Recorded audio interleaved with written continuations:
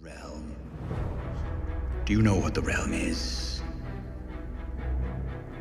It's the thousand blades of Aegon's enemies. A story we agree to tell each other over and over till we forget that it's a lie. What's up ladies and gentlemen, welcome back for another Game of Thrones and a Song of Ice and Fire video. In this video, I want to discuss one of my theories for the upcoming book, The Winds of Winter. As I'm sure you all know by now, we have been waiting for the release of this book for nearly a decade. This is easily one of the most highly anticipated books ever written. Now, there are a number of different reasons why I'm anxiously awaiting for the Winds of Winter, but what has me very excited is knowing this is when we will most likely see the invasion of the White Walkers. As of right now, the wall is still standing in the books, the wall is still there, and the White Walkers have yet to invade Westeros, but all of that is about to change in the Winds of Winter. Obviously, when the White Walkers invade the Seven Kingdoms, all of our favorite characters will have to find a way to stop them from advancing any further.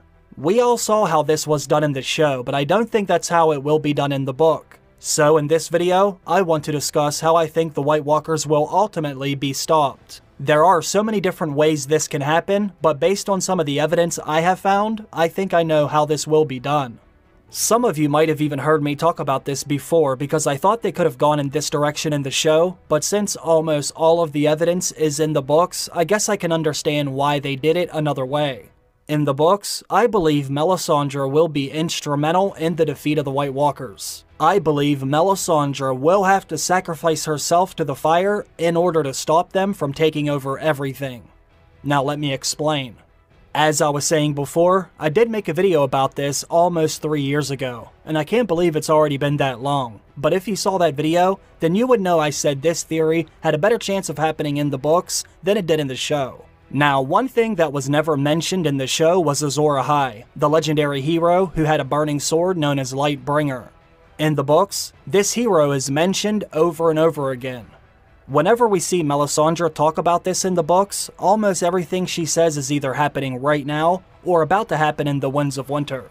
Melisandre says, In the ancient books of Asshai, it is written that there will come a day after a long summer when the stars bleed and the cold breath of darkness falls heavy on the world.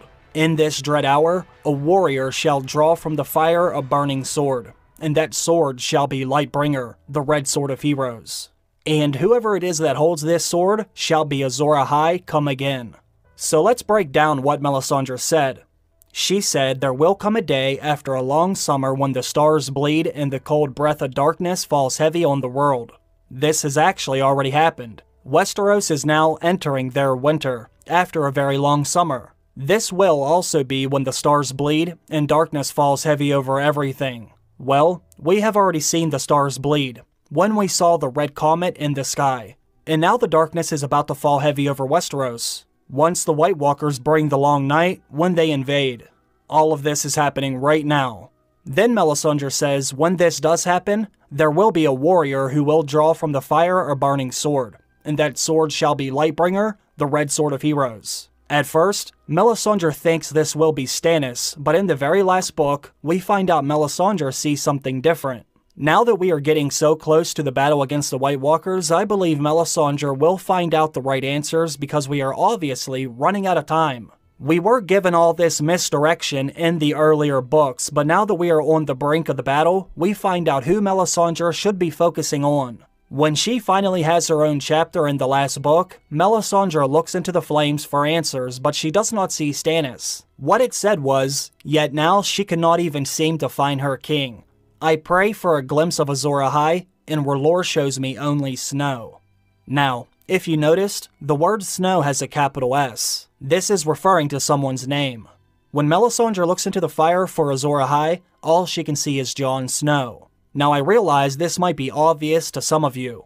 A lot of the fans already believe Jon Snow is Azor Ahai. That's not actually why I'm making the video. I'm making this video because Melisandre has yet to realize the sacrifice she will need to make in order for Azor Ahai to be reborn. As I said before, Melisandre will be instrumental in all of this for a number of different reasons. As of right now, in the books, Jon Snow is dead. Or I should say, we last saw him as he was bleeding out into the snow. Melisandre says something very interesting to Jon right before he is stabbed. She said, When the red star bleeds and darkness gathers, Azor Ahai shall be born again. Melisandre will be the reason Jon Snow is reborn, after she helps bring him back. It will be very different than the way we saw it done in the show, but she will bring him back in some shape or form nonetheless. Jon has even had a dream about this right before he was stabbed. In this dream, Jon can see himself standing on top of the wall. He is armored in black ice, but his blade burned red in his fist. Why do you think George brought Melisandre to Jon Snow? These characters are meant for something much bigger, but they need each other. Jon will need Melisandre to bring him back, but Melisandre will need Jon to become Azor Ahai. Melisandre has already made so many sacrifices over the years. She has sacrificed so many to the flames, but her final sacrifice will be her greatest. That's when she will have to give up her own life for the greater good of the realm. Stannis actually said it best when he dropped some knowledge on Jon Snow. This is also when we get another Azor Ahai reference, interestingly enough. When Stannis and Jon are speaking together at Castle Black, Stannis said, You may lack your father's honor or your brother's skill in arms, but you are the weapon the Lord has given me. Even Azor Ahai did not win his war alone. Now this almost sounds like something Melisandre would say to Jon, when she finally realizes Stannis is not Azor Ahai. Like Stannis said here, Jon is the weapon the Lord has given me. Jon is the weapon the Lord of Light has given Melisandre, but like Azor Ahai, even Jon needs help. Think about it. There are no other characters more focused or determined to stopping the darkness from gathering over Westeros than Melisandre and Jon Snow. Melisandre sings about this darkness and the hero who will stop it over and over again. You think the Lord of Light is worried about who sits on the Iron Throne? Melisandre's one and only focus is to stop the Great Other. Then you have Jon Snow, who immediately joins the Night's Watch, the brotherhood that guards the wall from the darkness that lies beyond. This is their destiny. Now, this is where Game of Thrones made one of its biggest mistakes. The writers should have never deviated from what George R. R. Martin was setting up from the very beginning. Just because Jon Snow seems like the obvious choice now that the whole internet is talking about it, doesn't mean you have to go back and change everything. This was already set in motion in the very first book. I said, well, what do, what do I do with that? What do I do with that? The, yeah, these people have guessed the secret that I'm going to reveal in book six. People have already guessed that here, and book two is just out. Uh, you really have two choices there. You can ignore it and proceed with your plan, despite the fact that some people know where you're going. Or you can get all panicky and say, oh my God, they figured it out. I can't let that be. I'll have to change it. I'll have to go in a different direction. And I, th- I think some writers do that.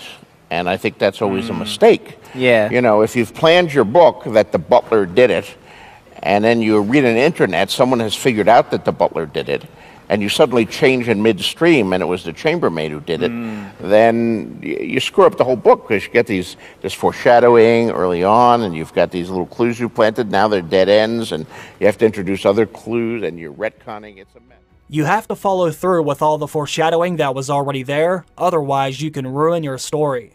Now you have to think about what Azor Ahai had to do in order to make his Red Sword of Heroes Lightbringer.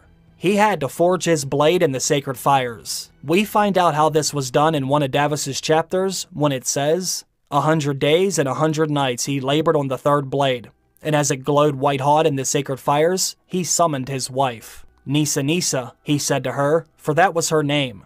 Bare your breast, and know that I love you best of all that is in this world. She did this thing, why I cannot say. And Azor Ahai thrust the smoking sword through her living heart. It is said that her cry of anguish and ecstasy left a crack across the face of the moon.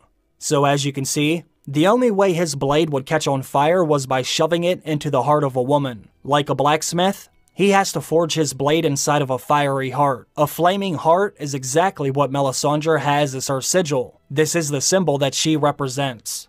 Stannis even has it sewn onto his banners. Over and over again, we are told Melisandre not only has a connection to the fire, but she is basically the physical embodiment of fire.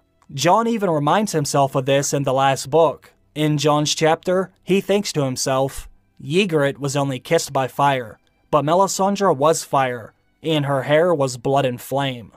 Now I need you to remember exactly what it said in the prophecy about Azor Ahai thrusting his sword into Nissa Nissa's heart. It said, Azor Ahai thrust the smoking sword through her living heart. I want you to focus on what it said at the end. It doesn't just say heart, but it says living heart. Now let me show you what it says in another one of Davos' chapters when he thinks about killing Melisandre himself. This is right after the Battle of Blackwater Bay. Not only did Stannis and Davos lose that battle, but Davos also lost several of his sons in the battle.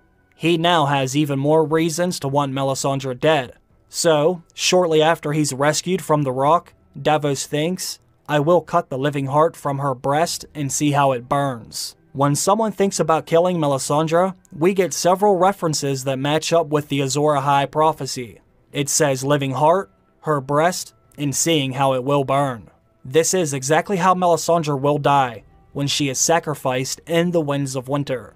Jon will shove his sword through her breast into her living heart, which will cause the sword to burn and then glow red, making it Lightbringer, the Red Sword of Heroes. If that's not foreshadowing, then I guess I don't know what is. Now imagine what it must have smelled like when Azor Ahai stuck his sword into Nissa Nissa.